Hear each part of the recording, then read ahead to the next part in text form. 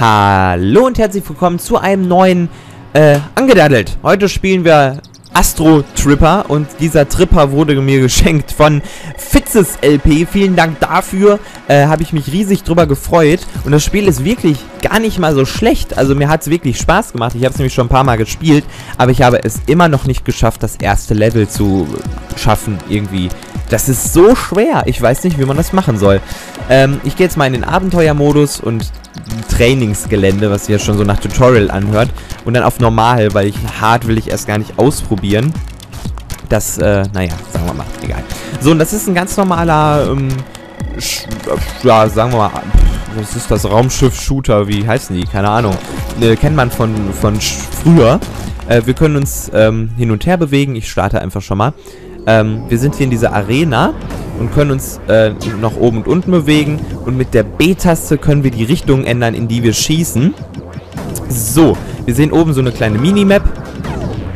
Und äh, können uns also hier oben oder in dieser kleinen Arena hin und her bewegen und müssen alle Gegner töten. Hier sehen wir einen Waffen-Power-Up. Wenn ich das mal einsammle, ähm, dann wird meine Waffe stärker. Man sieht unten so einen kleinen Ladebalken, ähm, wie voll meine Waffe praktisch schon ist. Hier haben wir einen Punktebonus. Denn ab äh, 100.000 Punkte oder so bekomme ich ein extra Leben. Die Leben sehen wir oben. Und das ist nämlich auch das Schwierige an dem Spiel. Denn wenn ich hier einmal irgendetwas berühre, was nicht so ganz toll ist, also einen Gegner oder eine Waffe von einem Gegner, dann ist Ende. Dann darf ich das komplette Level neu starten. Nicht irgendwie, dass ich weitermachen darf, aber halt nur drei Leben habe. Nein, ich muss das komplette Level einfach nochmal neu starten was ziemlich fies ist, aber hier gibt es so Art Checkpoints, denn wenn ich jetzt hier alle Gegner weggekriegt habe, dann gehen wir in das nächste Unterlevel, in die nächste Arena praktisch, was ich soeben geschafft habe, ähm, was sehr gut ist, aber auch nicht so ganz nett. Ne? Gehen wir mal ins nächste Level, in der Hoffnung, dass das jetzt schneller lädt. Ich habe nämlich schon mal einmal hier eine Aufnahme gestartet, aber da hat er sich totgeladen, weil Fraps das irgendwie blockiert. Äh, ja, und das tut es jetzt gerade anscheinend auch. Du, du, du. Gut, dann starte ich jetzt einfach äh, Fraps nochmal neu. Äh, ihr seht jetzt einmal kurz kein Bild und äh, dann sehen wir uns gleich wieder. So, da sind wir wieder. Und in der nächsten Arena, diese hier ist jetzt auch ein bisschen 3D-iger. Ähm, man sieht hier, wir gehen so ein bisschen um die Ecke. So, würde ich jetzt sterben, das ist immer noch äh, das erste Level, erste Kapitel, wie auch immer man das nennen möchte. Ähm, würde ich jetzt hier sterben, würde ich dann praktisch hier in dieser Arena starten. Aber, äh, naja, macht's auch nicht viel besser. So, da haben wir nochmal ein Waffenpower-Up. So. Ups, da kommt was. Ähm, wir haben auch eine zweite Waffe. Allerdings werde ich die irgendwie nie benutzen, weil ich die ah, abgrundtief dämlich finde. Ich mache mir aber gerade ganz schön gut. So, denn, die zeige ich gleich mal kurz. So. Wenn ich jetzt Y drücke, habe ich diese Waffe, aber die schießt halt irgendwie nur so... Weiß ich nicht, wer will denn damit treffen? Irgendwas So, hier muss ich ein bisschen aufpassen. Dass ich, da, da, dass ich da nichts äh, Falsches treffe. So, da ist ein Punktebonus. Den möchte ich gerne haben. Vielen Dank. So. Da muss ich ausweichen. Hier kommen nochmal so zwei von den Typen. Da müsste auch nochmal einer kommen. Oh, hinter mir ist auch noch was. Immer schön auf die Minimap gucken. Ganz, ganz wichtig. Uh oh. So, und damit sollte das jetzt ja auch erledigt sein. Ja, bis jetzt sieht es gar nicht mal so ähm, schlecht aus, ne? Aber jetzt kommt die Härte. Jetzt kommt nämlich anscheinend das letzte Level. Bis hierhin bin ich auch immer wieder gekommen. Ähm, tja. So. Ach ja, jetzt lädt's. Na super. Gut. Schön, dass der hier direkt neben mir spawnt. Das ist ja ein Traum. Hier sehr 3D. Ähm, so. Ah, shit. Die, jetzt, die sind jetzt in mir drin gespawnt. Das ist natürlich ziemlich arschig. Gut, haben wir soeben ein Leben verloren und dürfen dieses Level jetzt nochmal machen. So. Da muss man immer ein bisschen aufpassen, wo die spawnen. Oh, oh, hier zum Beispiel so.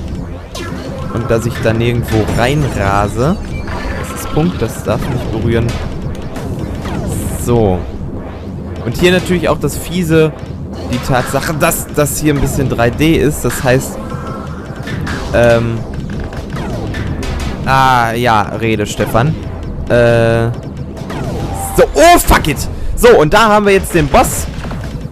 Den bezaubernden, den ich bis heute nicht geschafft habe, irgendwie äh, zu töten. So. Oh, kacke. So. Ja, gehen wir mal auf die andere Seite. Da war nämlich eh noch ein Punktebonus. So. Oh, oh, boah, das war knapp. Oh, oh, oh, oh mein Gott, oh mein Gott, oh mein Gott. So, jetzt muss ich irgendwie noch an diese Hinterteile kommen. Von ihm. Das ist das Einzige, was mich jetzt noch auffällt. Aber, wie kommt man da dran, ne? Das ist jetzt die Frage. Ah, da ist er platt. Da ist er platt. Mann, da habe ich jetzt nicht mit gerechnet. Gut, also müssen wir das Level nochmal machen. Letztes Leben. Tja, und wie man gerade gesehen hat, also der Anfang ist gar nicht so ähm, schwer. Aber äh, danach, ne, der dreht sich halt immer um. Und ich muss irgendwie an seine Hinterteile kommen und ich weiß nicht, wie ich das machen soll. Und dazu kommt noch, dass wir unten rechts, äh, unten links, meine ich, Entschuldigung, einen netten kleinen Timer sehen. Und das ist nämlich die Zeit, die ich noch zur Verfügung habe. Und wenn die abgelaufen ist, dann wird mir auch automatisch ein Leben abgezogen und somit startet das Level an der Stelle auch wieder neu. So. Ich könnte hier mal meine... Oh, fuck, fuck. Shitte. Wow, das war jetzt, das war jetzt dumm. Das war jetzt richtig dumm. Ja gut, 20, 102, 4, 204.040, 204.040 Punkte? Heißt das so? 204.040 Punkte. Das hört sich irgendwie... 204.040 Punkte. So, ähm, ja. Ich hab's bis heute nicht geschafft. Also, äh, pf, keine Ahnung. Das Problem ist, wir müssten jetzt dieses ganze Kapitel, sag ich mal, nochmal neu machen. Also die ersten beiden Arenen auch nochmal. Ähm, und äh, es gibt auch nur drei oder nee, vier, vier Kapitel. Also vermute ich mal, dass das schon so gewollt ist, dass das so schwer ist. Es ist ein schönes Spiel, es macht echt Spaß, aber es würde mehr Spaß machen, wenn man auch mal weiterkommen würde. Ähm, und nicht immer so komisch äh, sterben. Das ist ein bisschen schade. Also von mir auf jeden Fall ein, ja, eine Empfehlung für alle Leute, die auf sowas stehen und äh, frustresistent sind. Ne, hier sieht man vier, vier verschiedene Kapitel gibt's. Und die sind natürlich jetzt alle gesperrt. Und es gibt noch einen Herausforderungsmodus. Den zeige ich jetzt auch einfach nochmal kurz. Wir haben ja noch ein bisschen Zeit. Ähm, da ist jetzt einfach die gleiche Arena, nur ähm, ja, dass wir praktisch endlos mehr oder weniger spielen. Und ähm, das ist der schwere Modus. Das heißt, äh, gerade konnte ich an den Rand der Arena hingehen, ohne dass mir was passiert. Wenn ich jetzt zu weit äh, an den Rand gehe, falle ich einfach runter und verliere somit auch ein Leben. So ist das. Ganz schlimm. Ich starte nochmal Fraps neu. Äh, bis gleich. So, da sind wir. Man sieht hier, jetzt ist kein grüner Schimmer mehr über den Rand der Arena. Und ja, im Prinzip äh, geht es jetzt so lange, bis ich sterbe. Ich habe auch nur ein Leben. So. Was, uh, was relativ schnell passieren kann. Ich habe es auch noch nicht geschafft, meine komplette Waffe abzugraden. Also, dass ich wirklich die komplette Waffe habe.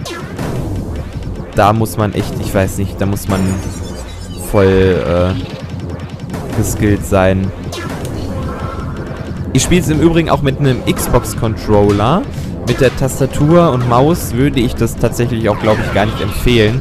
Habe ich noch nicht gespielt, aber ich glaube nicht, dass das die ganze Sache äh, wirklich viel einfacher macht. Eher, äh, eher schwerer. So. Sieht... Ja, was, was, was soll ich sagen? Es sieht äh, verwirrend aus, oder? Man muss auch teilweise, äh, boah, teilweise ist das gar nicht, boah, so einfach nachzuvollziehen, was jetzt, äh, gut und was schlecht ist. Also im Prinzip gibt es ja fast nur Schlechtes. Aber natürlich gibt es auch Gutes, und zwar diese Power-Ups. Und die, die muss man dann erstmal erkennen. In dem ganzen Gewirr war, da ist zum Beispiel eins. So. Weiter. Boah, noch läuft's. Noch läuft's. Aber es kommen ja im Moment auch nur die gleichen Gegner.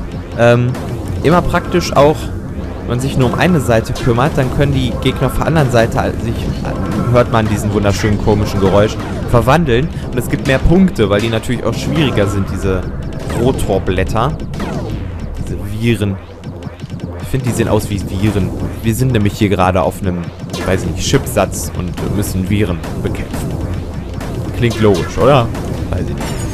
So, oh, oh, oh, oh, oh. Okay, Punktebonus. Waffenbonus. Okay, konzentrier dich, Stefan. Konzentration. Konzentration! Alles gut, alles gut. So, ups, habe ich die Waffe gewechselt. Das wollte ich gar nicht. Ach, Kacke. So. Boah, ich weiß aber auch gar nicht, was ich hier zu erzählen soll, weil ich kann mich gar nicht darauf konzentrieren, irgendwas Sinnvolles zu sagen. Weil ich hier gerade die ganze Zeit nur damit beschäftigt bin zu gucken, wo irgendwas spawnt. Und wo ich bin. Ah Gott, was ist denn jetzt passiert? So, da verwandeln die sich natürlich jetzt alle. Das könnte jetzt ziemlich heikel werden.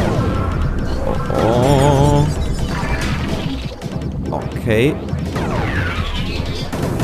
So. Das sieht... Ah, okay, da sind wir weg. Da war es dann doch ein bisschen zu viel. Gut, damit beende ich dann jetzt auch einfach mal ähm, dieses angedandelt vom Tripper oder Tripper. Wir sehen uns nächste Woche wieder. Wenn ihr noch äh, Spielvorschläge habt für Spiele, die ich äh, andaddeln soll, dann haut's in die Kommentare oder per PN. Und ansonsten freue ich mich über ein Like und über einen Kommentar von euch. Und wir sehen uns wieder. Bis dahin. Ciao.